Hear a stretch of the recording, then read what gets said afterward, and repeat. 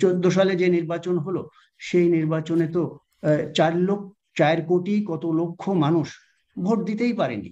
একশো তিপ্পান্ন আসনের যে ভোটার তারা ভোটই দিতে পারেনি। সুযোগ নাই।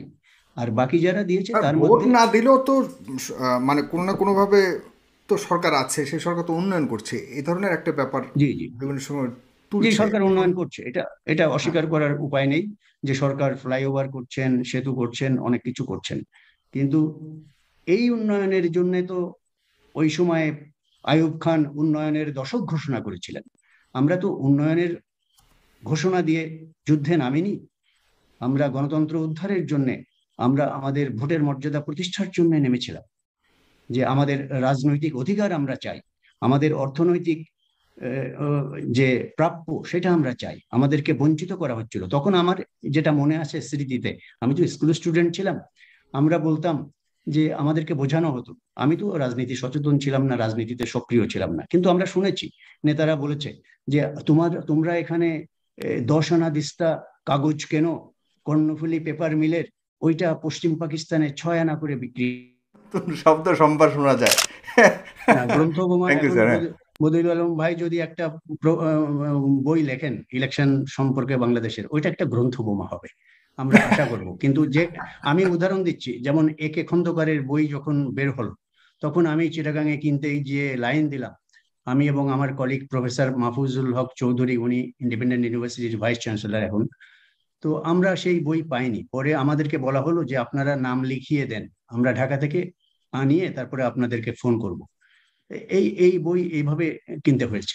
ফলে এই ধরনের বেশ কিছু বই বেরিয়েছে এখন, যাতে অনেক তথ্য পাওয়া যায়। যেমন আমাদের সর্বজন শ্রদ্ধ তাজউদ্দিন আহমেদ অত্যন্ত শ্রদ্ধ ব্যক্তিত্ব। মুক্তিযুদ্ধের সময় ওনার রোল আমরা জানি। তো উনার মেয়ে, ওই যে নেতা ও পিতা, যে বই লিখেছেন, অনেক তথ্য আছে। ওখানেও অনেক তথ্য আছে। এখন সাধারণ মানুষ কিন্তু এগুলো পড়ে জানতে পারছে অনেক কিছু। তো এর মধ্যে হয়তো কোনো কোনো বইতে অতিরঞ্জন আছে, সংকোচন আছে, কিন্তু একটা লোক যদি পড়ে, তাহলে আস্তে আস্তে সে জানতে পারে। তবে আমি এই পঁচিশে মার্চ সম্বন্ধে আপনি কোনো গ্রন্থ গোমা গ্রন্থ বোমা কি আবিষ্কার করছেন কিনা স্যার? বা এটা পেতে পারি কিনা আমরা?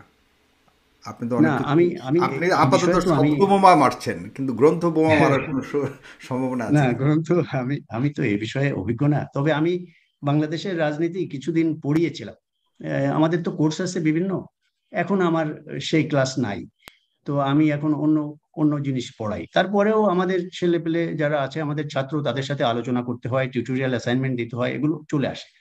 তো তারা বিভিন্ন প্রশ্ন করে, বিভিন্ন প্রশ্ন করে আমাদেরকে জবাব দিতে হয়। তো প্রথমে আমার যেটা উচিত ছিল, সেটা আমি ওই বদিল আলম মজুমদার সাহেবের মতোই বলি যে, যারা পঁচিশে মার্চের রাতে এবং আমাদের স্বাধীনতা যুদ্ধে, ওই দিন তো ম্যাসাকার হওয়ার পরেই আমরা সব চলে গেলাম।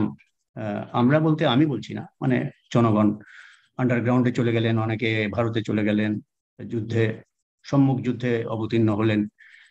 তো লক্ষ লক্ষ লোক যারা নিহত হয়েছিলেন, তো তাদের আত্মার মাগ ফেরত কামনা করি আজকে আমরা এই বিশেষ দিনে। এবং তাদের যে ত্যাগ যে উদ্দেশ্যে তারা প্রাণ দিয়েছেন, সেই উদ্দেশ্য বাস্তবায়নে যদি আমরা ভূমিকা পালন করতে পারি, তাহলে কিছু একটা করা হবে বলে আমি মনে করি, তাদের আত্মা শান্তি পাবে। অথবা যদি না পারি, তাহলে প্রত্যেক বছর ওই স্বাধীনতা দিবস আসবে আজকে রাত বারোটা এক মিনিটে। দেখবেন ওই স্বাধীনতা ভাস্কর্য আমাদের ক্যাম্পাসে আছে, অনেক জায়গায় আছে। সাভারে জাতীয় স্মৃতিসৌধ আছে, সেখানে ফুল দিয়ে ভরে ফেলা হবে। সেটা ভালো প্রতীকী অর্থে তাদেরকে সম্মান জানানো। কিন্তু তাদের যে স্বপ্ন ছিল, যে উদ্দেশ্যে তারা প্রাণ বিসর্জন দিয়েছেন, সেই কাজ না করে এই এই বছরে একদিন বেদি টেদি পরিষ্কার করে সুন্দর করে ফুল দেওয়ার মধ্যে বিশেষ তাৎপর্য আছে বলে আমি মনে করি না। তবে এটার যৌক্তিকতা আছে, এটার উপকারিতা আছে। আমাদের ইয়াংস্টার যারা ভবিষ্যৎ প্রজন্ম, তারা এটা দেখবে যে এদেরকে শ্রদ্ধা করতে হয় যে একুশে ফেব্রুয়ারি আসলে শহীদ মিনারে পরিষ্কার করে সেখানে ফুল দেয়া হয়। যদিও তাদের যে স্বপ্ন ছিল, সেই স্বপ্নের দিকে কোনো খেয়াল নেই। স্বপ্নের দিকে কোনো খেয়াল নেই, স্বপ্ন বাস্তবায়নের দিকে কোনো খেয়াল নেই। এটা একটা কালচারে দাঁড়িয়েছে। পয়লা বৈশাখ আসলে একটু পান্তা ভাত খেতে হবে। আপনার কাছে একই প্রশ্ন যদি করি প্রথমত আপনি যে উদ্দেশ্যে স্বাধীন করা হয়তো সেই উদ্দেশ্য সফল হয়নি আপনি কি বোঝাতে চেয়েছেন? আরেকটু যদি স্পষ্ট আমি আমি বলতে চাচ্ছি ছাব্বিশে মার্চকেই কেন স্বাধীনতা দিবস বলা হচ্ছে? এর পেছনে সেটা আমি জানা মতো সেটা আমি কনফিউজ যে ছাব্বিশে মার্চ না করে ষোলোই ডিসেম্বর করা হলো না কেন বা অন্য তারিখ করা হলো না কেন সেটা আমি কনফিউজ আমি আমার কাছে একেবারে স্বচ্ছ ধারণা নাই। ষোলো ডিসেম্বর তো ঠিক আছে সেটা বিজয় দিবস। না আমি বলছি যে স্বাধীনতা দিবস এই কারণে শুরু হয়েছে কারণ স্বাধীনতা যুদ্ধ শুরু হয়েছিল। কিন্তু আমার প্রশ্ন হলো যে স্বাধীনতা যুদ্ধটা কি ছাব্বিশে আসতেছে না কেন? জি ছাব্বিশে মার্চ শুরু হয়েছে? জি বলবেন। ঘোষণার কথা যেটা বলছেন যে দুইজনের ঘোষণার কথা এখানে আছে সেটা আলোচনা করতে গেলে নানা রকম প্রসঙ্গ আসবে। এই যে বঙ্গবন্ধুর একটা সাক্ষাৎকার নিতে গিয়েছিলেন, যেটা বইতে পাওয়া যায়। তো উনি সেভাবে রেকর্ড করতে পারেননি তাজউদ্দিন সাহেব। এগুলো বইয়ের কথা, আমার কথা না। তারপরে আবার জিয়াউর রহমানের ব্যাপার আছে। সে উনি আবার কালুরঘাট থেকে কোথা থেকে স্বাধীনতা ঘোষণা করলেন। এই তারিখ নিয়ে, এই সময় নিয়ে অনেক বিতর্ক আছে। আমি ওটার ভেতরে ঢুকতে চাচ্ছি না। ঢুকতে চাচ্ছি না তারিখ যেটাই হোক। আমাদের উদ্দেশ্য ছিল ব্রিটিশরা আসলে যেভাবে আমাদের সাতচল্লিশ সালে ভাগ করেছিল, এর ভেতরে একটা ভাঙনের বীজ তারা ওই সময়ই রোপণ করেছিলেন, করেছিল ব্রিটিশরা।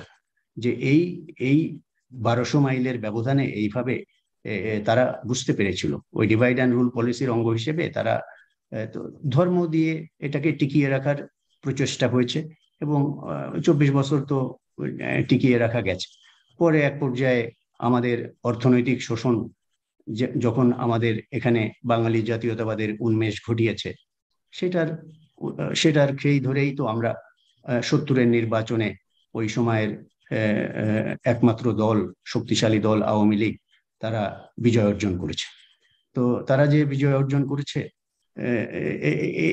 আমরা যুদ্ধটা কিন্তু এই এই যে পঁচিশে মার্চের পরে আমরা যে স্বাধীনতা যুদ্ধ যে আমরা নেমে গেলাম, সেই যুদ্ধটা কিন্তু আমরা এই অবকাঠামোগত উন্নয়ন বা উন্নয়নের জন্য আমরা কিন্তু করিনি। আমরা যুদ্ধটা করেছিলাম আমরা আমাদের যে রাজনৈতিক অধিকার সেটা প্রতিষ্ঠা করার জন্য। সেই অধিকারটা হচ্ছে ঐক্যবদ্ধ পাকিস্তানে সংখ্যাগরিষ্ঠ ভোটারদের যে রায় আওয়ামী লীগের পক্ষে, বঙ্গবন্ধুর পক্ষে, সেই ভোটের রায়কে অমর্যাদা করা হচ্ছিল। অমর্যাদা করা হচ্ছিল যে বঙ্গবন্ধু অধিকাংশ সিট পেয়েছে, তাকে পাকিস্তানের প্রধানমন্ত্রী হতে দেবে না। সেটার বিরুদ্ধে আমরা অস্ত্র ধরেছিলাম। তরুণ প্রজন্মরা অন্যরকম ভাবে। তো তারা এটা তাদের বোঝা উচিত যে আমরা যুদ্ধ কেন করেছিলাম। যুদ্ধ তো আমরা করেছিলাম উন্নয়নের জন্য না। তো আমরা গণতন্ত্রের জন্য যুদ্ধ করেছিলাম, ভোটের মর্যাদার জন্য যুদ্ধ করেছিলাম। সেই ভোটের মর্যাদা যদি আমরা এখন সুন্দরভাবে প্রতিষ্ঠা করতে পারি। তাহলে যারা যুদ্ধ করেছিলেন তাদেরকে অনেক সম্মানিত করা হবে। তাদের আত্মা শান্তি পাবে। যেভাবে আমি মর্যাদা কি আপনার কাছে সন্দেহ আছে স্যার? আমরা তো চমৎকার ভাবে দেশ চলছে উন্নয়ন হচ্ছে সরকার ক্ষমতায় আছে নির্বাচনের মাধ্যমে। আপনার হ্যাঁ, হ্যাঁ। আমার তো সন্দেহ আছে কারণ যে নির্বাচনগুলোর মাধ্যমে সরকার ক্ষমতায় আছে সেই নির্বাচনগুলো তো আপনি স্বাভাবিক নির্বাচন বলতে পারবেন না প্রশ্নবিদ্ধ নির্বাচন বলতে হবে।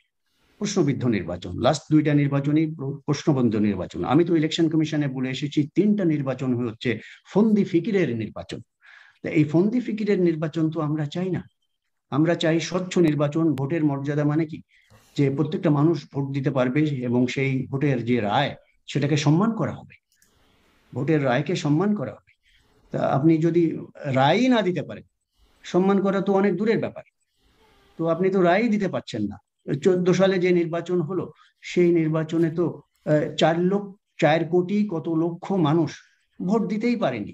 একশো তিপ্পান্ন আসনের যে ভোটার তারা ভোটই দিতে পারেনি। সুযোগ নাই। আর বাকি যারা দিয়েছে তার ভোট না দিলেও তো মানে কোনো না কোনো ভাবে তো সরকার আছে সেই সরকার তো উন্নয়ন করছে। এই ধরনের একটা ব্যাপার জি জি। বিভিন্ন সময় সরকার উন্নয়ন করছে। এটা এটা অস্বীকার করার উপায় নেই যে সরকার ফ্লাইওভার করছেন সেতু করছেন অনেক কিছু করছেন। কিন্তু এই উন্নয়নের জন্য তো ওই সময়ে আয়ুব খান উন্নয়নের দশক ঘোষণা করেছিলেন। আমরা তো উন্নয়নের ঘোষণা দিয়ে যুদ্ধে নামিনি। আমরা গণতন্ত্র উদ্ধারের জন্যে আমরা আমাদের ভোটের মর্যাদা প্রতিষ্ঠার জন্য নেমেছিলাম। যে আমাদের রাজনৈতিক অধিকার আমরা চাই, আমাদের অর্থনৈতিক যে প্রাপ্য সেটা আমরা চাই, আমাদেরকে বঞ্চিত করা হচ্ছিল। তখন আমার যেটা মনে আছে স্মৃতিতে, আমি তো স্কুল স্টুডেন্ট ছিলাম, আমরা বলতাম যে আমাদেরকে বোঝানো হতো। আমি তো রাজনীতি সচেতন ছিলাম না, রাজনীতিতে সক্রিয় ছিলাম না। কিন্তু আমরা শুনেছি, নেতারা বলেছে যে তোমার, তোমরা এখানে দশ আনা দিস্তা কাগজ কেন?